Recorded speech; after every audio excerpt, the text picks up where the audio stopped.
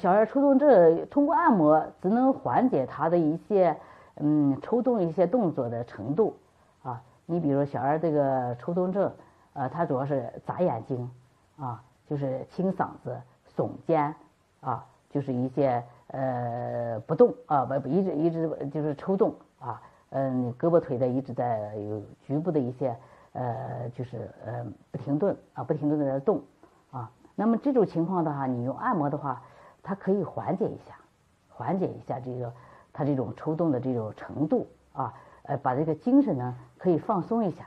呃，因为我呢是一般的擅长用这个呃草药啊，草药呃结合针灸，呃治疗这个小儿抽动症，呃这个这一方面的我的经验我觉得多一点，因为我真的是我擅长就是擅长这个治疗这个，呃所以这个按摩呢，我只能说它可以缓解，呃基于其余的情况呢，我觉得我是用草药治疗这方面的呃经验比较多一点，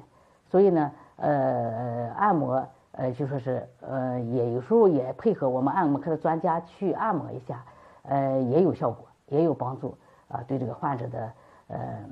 就是这个抽动的这个缓解，可以的，有这个缓解作用。但是我是希望啊，呃，我的，